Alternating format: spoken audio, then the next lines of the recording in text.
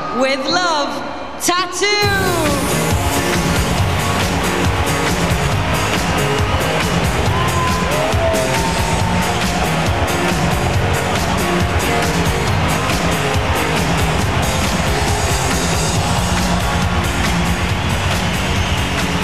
They say a good man is hard to find.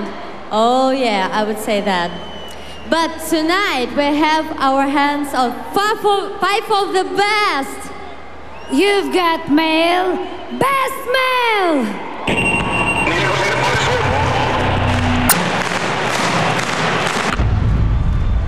And the winner is.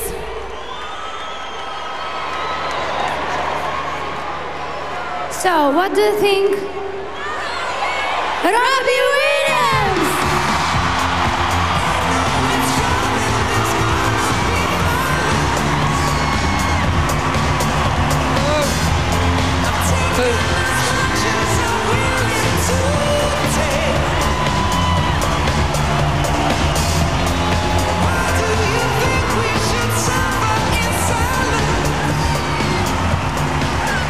Thank you.